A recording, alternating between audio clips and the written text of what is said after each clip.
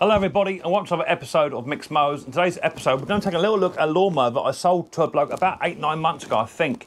Um, it was a Webb lawnmower with a Briggs & Stratton um, classic engine on top. Video to that, um, the link to the video is there up above. Uh, this lawnmower came to me, I picked it up, uh, cheap as chips, um, in Worthing and I'm convinced the lawnmower from day one had not done a day's work, not even been started. Um, I got it running, I sold it, did it all up, and made, made it look nice and tidy, and uh, off it went. Anyway, the fella has um, texted me just the other day to say he needs it um, up and running, and uh, pretty much since he bought it, it was his backup mower, and he's never ever um, used it. So he said he managed to get it fired, but it, it doesn't doesn't run at all very well. Um, I looked at it, and um, it runs really lumpy, um, which is strange because it had a full service when it went out, so I'm not quite sure what's up with it. If it's your first time watching Micks Mowers, hit the subscribe button and whack your bell, set notifications to all. That way you'll be told when I've done a video or two on my Saturday night wiki live stream, which starts at 6.30pm UK time. Just before we get on, I did get a, pri a little present off my Amazon wish list. I have featured this already on my live stream, but for those of you who don't watch my live stream, I thought I'd uh, show you. Got a little tiny gift. It simply says, enjoy your gift and thanks for the advice, um, the prize, uh, uh thanks in advance for the prize on Saturday the 12th September. Um, when the Kinder eggs are back in stock, I will treat Riley Boy all the best from James, uh, Peter James. So that's cool. Peter James sent me um, a 10 pack of 80 grit um, flappy discs, which are fantastic. They're coming well handy when I'm doing um, some mower deck repairs. Uh, so that's good. Thank you very much for that, Peter. Much appreciated. And on top of that, on my live stream also, uh, Top Conker sent me a, uh, a, spark plug necklace, very similar to what Taryl Fixes All does on his channel. Um, but he sent me a, um, a torch spark plug um, an F7 RTC. Um, and funnily enough, on the live stream, if you watch the live stream back when I opened the box up, uh, this is a brand new plug. Um, and uh, I tested it on my multimeter and it's actually dud. so uh, yeah, thanks for that Top Conker. I shan't wear it all the time because um, sitting down working on engines, this is to get right in the way. But uh, I might shorten it down a bit so it's a bit, a bit higher up. But anyway, thanks for that Top Conker. You're a little star. You have a little present winging your way to you. So without further ado, let's get down and dirty. Let's check out this Webb little lawnmower, see what's up with it. I, will get it running for you and um, show what it's doing. Then we get up on the bench and see what's going on.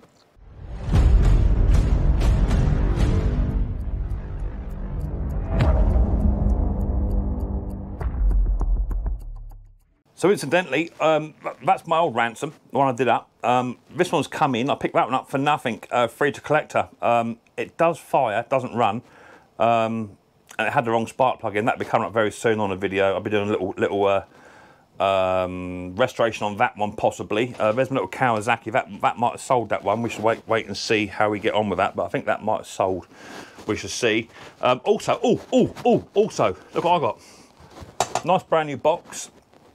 Uh, cable is now all in, all up the garden done, and I've wired up my, um, my sockets off of a ring main um, or ring circuit, whatever you want to call it now, and I've upgraded two of them, so I actually now got uh, USB sockets too. So I've got one, two, uh, three, four down there, and one here. I'm going to put another one down here somewhere out the way.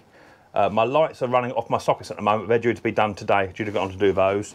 And also, for those that don't know, I've done some insulation too. Um, got some of this um, installation comes out of cargo uh, comes out of cargo containers. Really good stuff. So far, all this wall's been done. You can see it just tucked behind here. All that's been done. All of this has all been done. I've got a bit more plyboard in here, all the way down there, and that back wall is three quarters done. Windows been upgraded as well to, to solid perspex windows, not just two little tiny bits. That's now solid. So yeah, lots of upgrades happening in the Micks Mower Shack. There's a cable drum. Uh, right, let's come over here and have a look at this. I need to have it, now that cable's in, I can now uh, have a bit more sort out. My, my, my, mowers are just, as you can see, everywhere. Mrs. P loves it. But I need to sort that out. So here's the little Webb, okay? I'll show you what it's doing. I can get it running, um, but it ain't running very well. So let's have a little go. He wants a new pull cord bollocks for two. That pull cord's about ready to snap. So he has used it.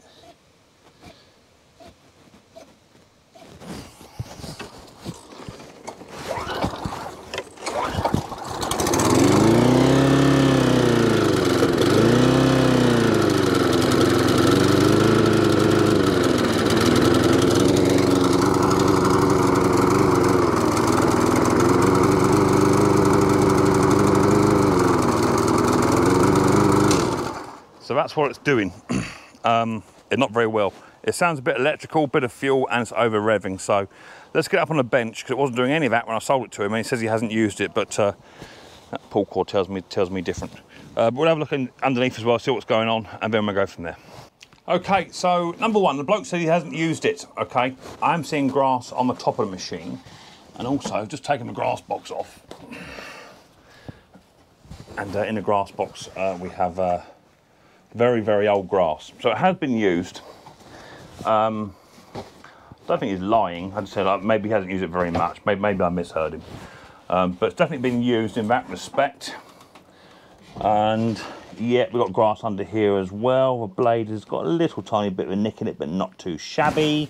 It's not as clean as it what it was when it went out originally. So first thing to do is check out uh, the over revving, put a new pull cord on it, test a coil, new new spark plug, all that sort of good stuff. That's what we're going to be doing because it's got it's got like a like a jittery sort of noise to it, and that jittery noise is telling me that it's got a um, an electrical problem, possibly as well as a fuel problem. Okay, so let's take a few bits off. Three three eight bolts, which is your standard on these. Quite a bit. That's a bit quick. Let's turn it down a smidge one over here. And that will then remove our pull cord assembly. Off that comes. Okay. I don't want to scratch no paint here. This is well, this is well sprayed up. This old machine. So I put a new pull cord on there because see that, that pull cord is absolutely knackered to say. That's about ready to snap. So we'll get rid of that. Um, we're going to disconnect the spark plug, uh, which is a B2LM in there. Um, Looking at the spring, someone's had a little bit of a play by the looks of it on the spring. That's possibly why it's over revving. Uh, but what I want to do is remove the air filter as well because I want to take the um, lead off of this coil so I can then test for coil because it's sounding like uh, it's it's got an electrical fault. Could just be a plug, but uh, rather than just change the plug out, there's a bit of oil on there, not a great deal.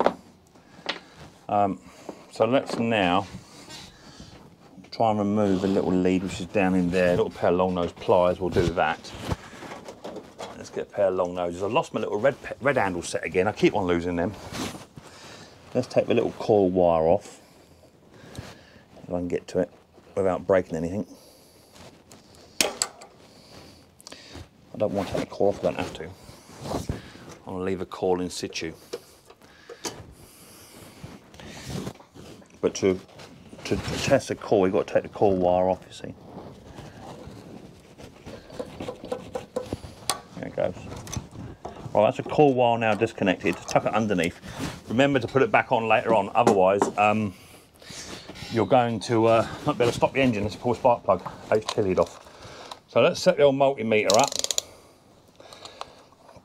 Let's put it down here. Check for continuity first. Beep yeah. Onto 20k and then we want to test uh, in the HT lead boot itself. Hold that in there and onto here. Might take these bolts out. 9.4 that's alright nothing oh there you go. Yeah got a reading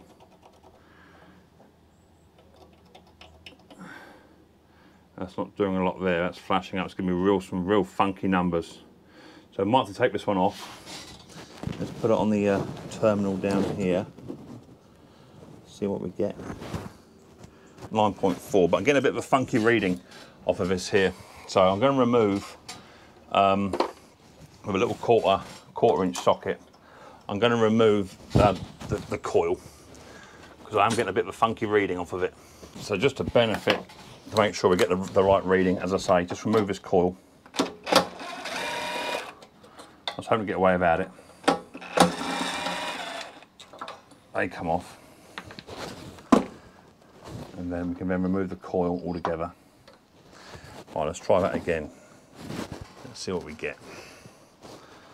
Positive in, all the way down, hold that.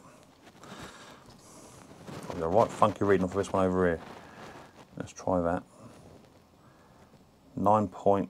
five, 9,000, 9,500, that's good, that one. There you go, that's better, let's come back.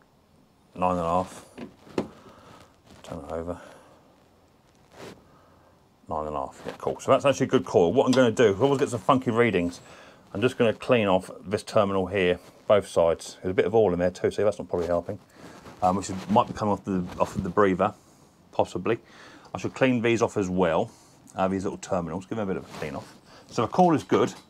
Let's look at this this spring. Yeah, someone's had a bit of a bit of a bend up on that old spring. That's not doing what it should be doing. Uh, so someone's been in there. We can definitely see that. It's got a brand new spring on it, which I fitted uh, when I serviced the machine. So that can all uh, come off as well. Not happy with that little spring there. That's not that's not right. Um, hey ho. Let's um, have a plug out next. Okay, so now the core's now all been tested, you know. I've cleaned it all up both sides, front and back, and on the, on the ends as well. And these have a certain way to go up, and it says on here, uh, this side out, and cylinder side. So there's a cylinder, so the cylinder side goes down onto there, okay? Otherwise it won't work, it won't work properly. Put a little tiny lead on, hook that up to there, get a bit of card, a bit of card here, stick that in, and then you get your your two little tiny bolts. That one goes in there. That one goes in there with your your vane on. There it is.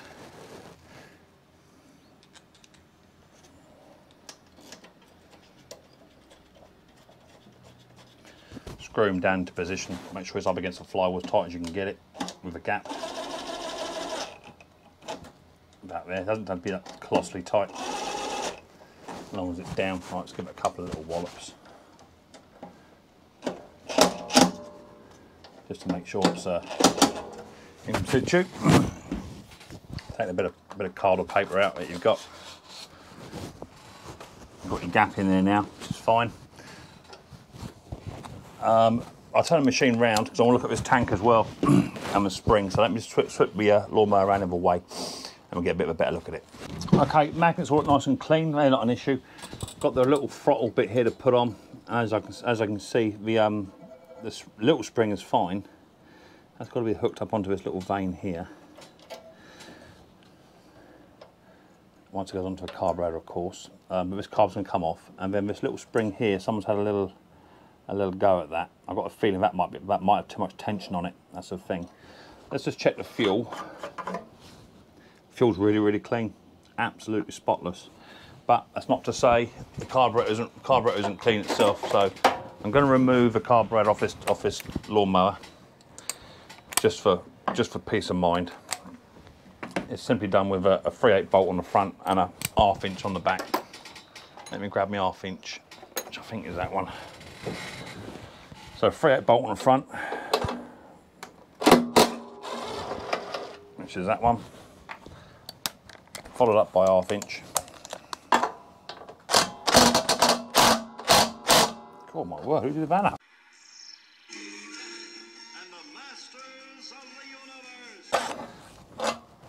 Because they do snap. I've had them snap on me. Game over then. Pull the tank out. That's all good. Just want to double check now the intake is not loose and not cracked. I know it's not cracked down this end. Just having a quick little visual inspection all the way around, best I can. That's not cracked. That's actually really, really good. So now we're left with uh, the tank that's got perfect fuel in it. The fuel is absolutely A1. Nothing wrong with the fuel at all. But I want to check inside here to see what's going on inside this um, this carburetor. So that's simply done just with a um, Phillips screwdriver. And all we're going to do is just undo these uh, four or five Phillips screws. I want to check what's in the well, you see, because the fuel may be really good. But the um, the well may be gunked up. So let me get these undone and I'll come back to you before I lift it off. I've loosened the old screws off, that should now lift off. I want one more just to just to take right out. Let's take that one out. Oh, that should now lift. There it goes. Take that out.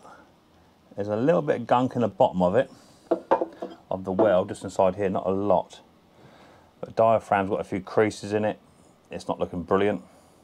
Very, very saggy. um, which is better than stiff right, but um, it doesn't look too shabby in here. As I say, this has not done a lot of work, so I'm going to renew the gasket and diaphragm anyway. Uh, it looks very, very saggy. Uh, but the carburetor looks to be good, but I'm going to put just going to take these bits and pieces out anyway and give it a bit of a carburetor clean. He said the choke didn't work, but obviously it doesn't have a choke, it's a primer bulb system, so there's a bit of a dryness in there. It doesn't look very, as if that's running very well in here either. So a bit of a carburetor clean, do it off camera very quickly, and I'll come back. Okay, carburetor now cleaned. Um, I will say this little tiny jet at the back here, that, that was slightly plugged, um, but the actual tube itself was good. Uh, this was very dry just in here, which I've now cleaned it out. And uh, gasket diaphragm was a little bit um, saggy, and there was like some some residue in here. Uh, it, it, it, it, was like milky colour, um, so that's been cleaned out. So, brand new, um, original Briggs and Strat gasket diaphragm. Now, you've, you've seen me do these before 155,000 times, so feel free just to forward on. But for those of you that haven't, then this is a video for you. So let's get a new gasket diaphragm out. very, very simply, just line it up and the diaphragm will go on first, down the bottom there, line it up the holes, like that, and then get your, your gasket, that go on top, okay? Once that's in place, you can then get your main jet, that goes back into the carburetor, goes in any old how. Just about to give a bit of a wiggle, wiggle it just a little bit, just so it, uh, it sits down. Once it sits down halfway, then you can just get your back of your screwdriver and just hear a click, like that, okay? Once that's gone click, get your little gauze, so that's absolutely clean, there's nothing wrong with that. That goes on top of there. Uh, that's it. And then your straw goes into this hole and your um, screen goes into this hole, okay? So just loosey-goosey line it up. Make sure your spring's on there as well loosey goosey, okay, don't go screwing up and down just yet. Get your screws, there's five of them, and literally just wiggle it just a little bit, just till they go in. Once, once, once, once one or two find their home, we'll be laughing. But don't screw it down yet, okay? So that's a couple going in. And when you screw these down, use a cross cross method, but don't do them up like your life depends on it, okay? You don't need to, otherwise you get a bit of a leak at the back. So let's just start to wind them in home. What I do is I kiss all mine down first. So just just to there, kiss it down, come right to the other side. If you do it up too tight, you can walk the carburettor. You walk the carburettor, you're looking at a 25, 30 pound replacement. All right, so let's just loosey-goosey them down. Using a cross-hatch method, as I said.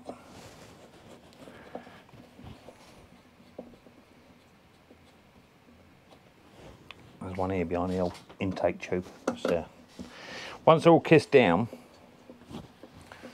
you can then just tighten them up. So just give them a, just a, you know, just a quarter of a turn. We don't, we don't need a lot, really. We don't.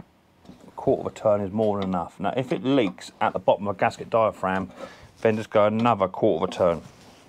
But literally, I'm just, just kissing them down. All right. Once they're down, get yourself your rag.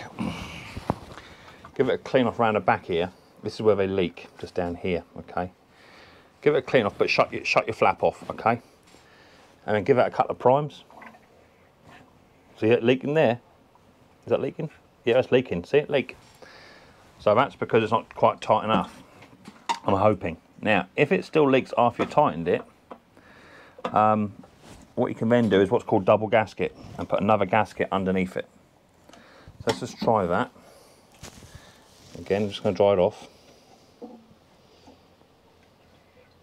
And this time, no leak. Okay? If you do it too tight, then um, what here comes Riley boy. Then what happens is um, you warp the carburetor, okay, and, and it never work. Say again, Riley. Come here. I can't hear you, buddy. I'm doing a video. Come and say hello to the guys. He's coming. Here he comes. Managing director. Bear with me. He's coming in a minute. Yep. Down here, come show me.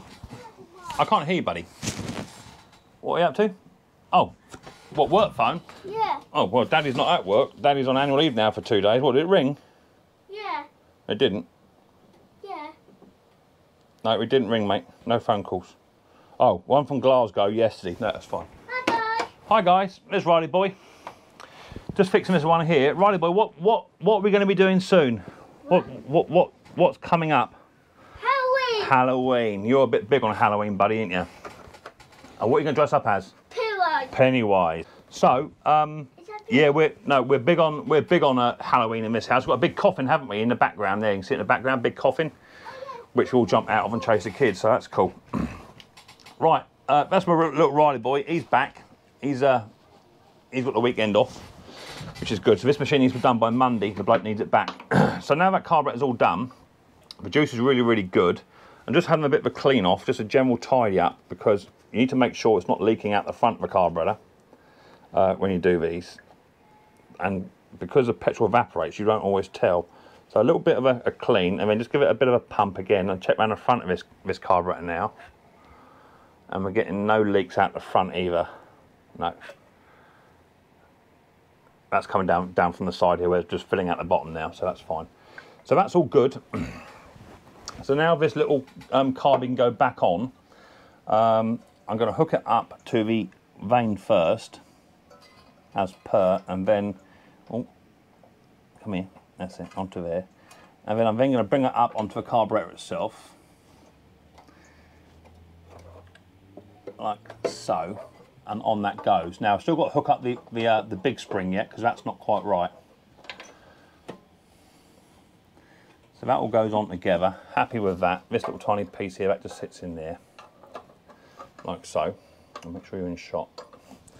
And then you've got your half inch stew. That goes into there. Just loosey goosey at first because you've got to fit your 10, your, your 3.8 on the front. I'm nearly falling off, nearly falling off my, old, my old lift table here. That one goes in there. Just start him off, okay? And then come back to your, your half inch and just give it a couple of impacts, okay? And then 10 mil or 3 eighths can then be done up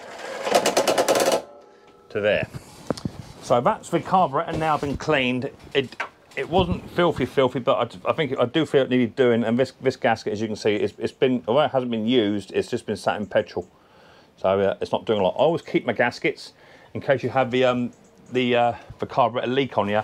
You can always double gasket them. Okay, just lay two gaskets down instead of having the one and that should fix a leaking carburetor problem. Right, so that's that done. I need to look at this this big spring. Let me bring this lawnmower back up. It's about to fall off. That's it. And see what we've got here. If it's done it right to me, this is uh, this is too much tension on this. Too much tension on this little spring. There should be nothing like that. I've got a feeling this is broken. The tab's broken off of it.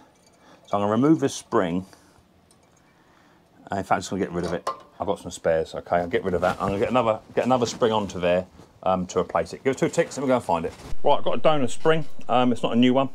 I'll get a bit of a clean up. Just clear, just clear. But you can see a nice big long leg on there. The other one didn't have it. That was cut about here, and uh, it's got a little tiny O-ring this side here. So I'll give it a bit of a clean up with some carburetor spray, just to just to tidy it up. I've got the carburetor spray just here. I'm just going to give that a bit of a happy birthday. Just to get rid of some of the stuff that's on there. A lot of dirt and grime and grass clippings and all that sort of stuff. Let's give that a bit of a clean. Go a bit gentle with these, especially if you're using donor parts because uh, they do like to snap on you. And they're about £6 a set. They're not cheap.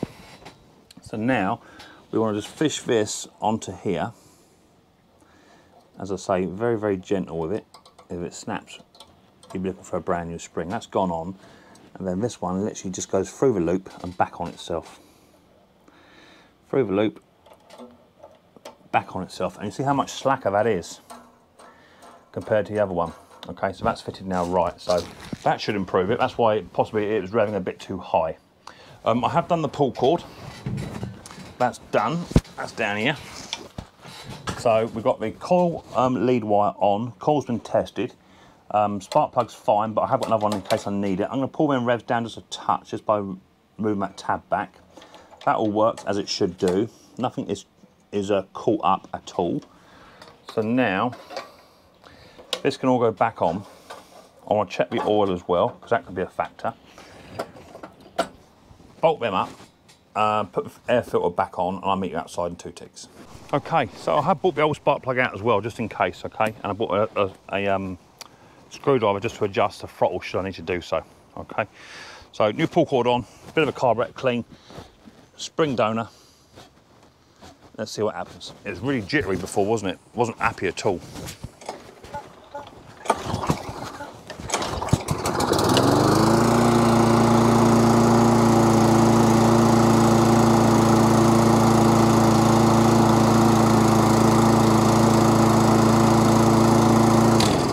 Okay, so it runs really, really well. So first thing I want to do, so I don't want to charge a bloke for a spark plug if it don't need it, okay? I'm not, I'm not up for that. I'm, uh, I try to be as honest as I can, but there may be a difference in spark plug. That wind's picking up, hopefully not getting no, no interference. Let's put the old spark plug back in, because it was a new spark plug. That's it. And now let's just see what it runs like with a new plug-in. Oh, the, you know, the old plug, the original one.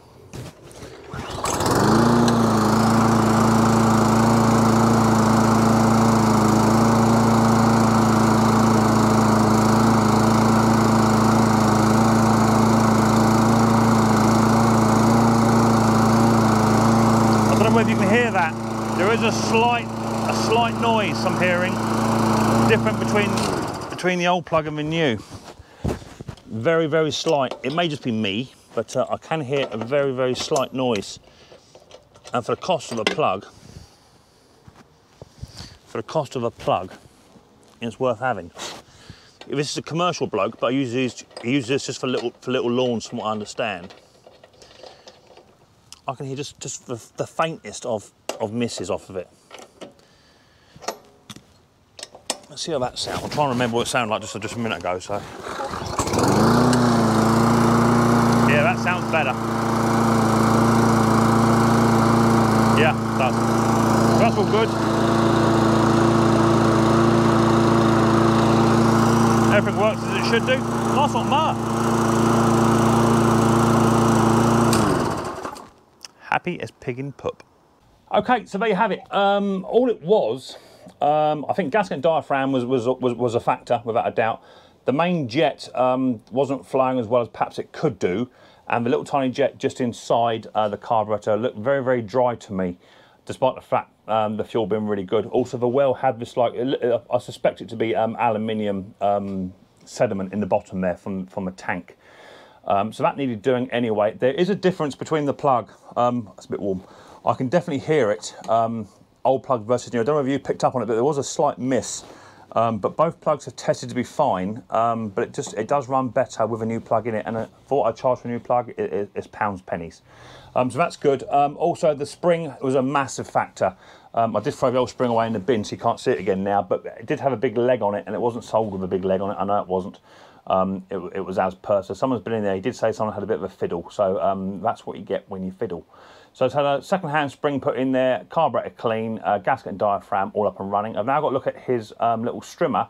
Um, it says it doesn't, doesn't run very well on uh, off a choke. So I'll look, look at that in a minute. He needs that back tomorrow as well. So sort of up against it a little bit at the moment, despite the fact everything else going on in the Micks Mo Shack. If you enjoyed this video, give us a thumbs up. Show your appreciation to the channel. Um, don't forget to subscribe to the channel as well, whack your bell, and all set notifications to all that. Tell you I've done a video or two on my Saturday night weekly live stream, which starts at 6:30 p.m. UK time. I look forward to the next episode of Micks Mo's very, very soon. But until then, people, don't forget, more importantly, take her easy.